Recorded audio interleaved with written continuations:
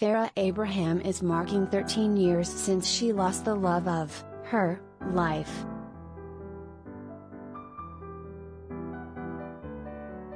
On Tuesday, the reality star shared a carousel of photos on Instagram from the gravestone of Derek Underwood, her former partner and the father of their 13 year old daughter, Sophia.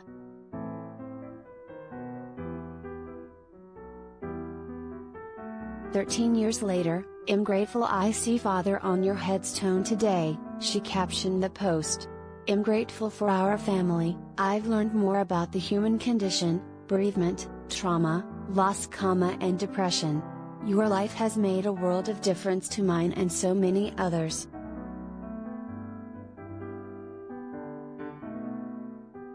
She continued, in living memory, peace and love to Derek Underwood, the love of my life and father to our amazing and blessed at Sophia Abraham.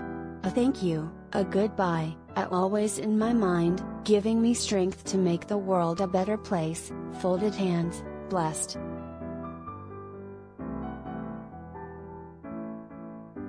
Underwood died in a car accident in 2008, shortly before Abraham gave birth to their daughter at 17 years old. Her journey was chronicled on MTV's 16 and Pregnant. She later appeared on Teen Mom and Teen Mom OG.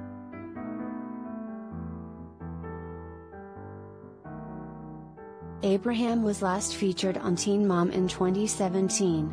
She later sued MTV's parent company Viacom for $5 million, claiming she was fired from Teen Mom OG because of her decision to work in the adult entertainment industry, according to court documents obtained by the Blast at the time.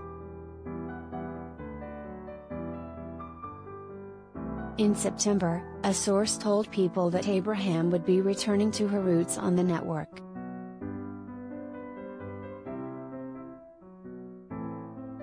According to the source, she signed on to a new MTV spin-off series that will unite cast members from Teen Mom OG, Teen Mom 2 and Teen Mom, Young and Pregnant.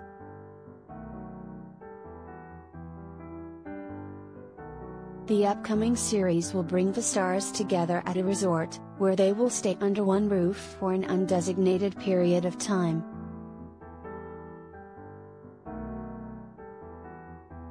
A premiere date for the series has not yet been revealed.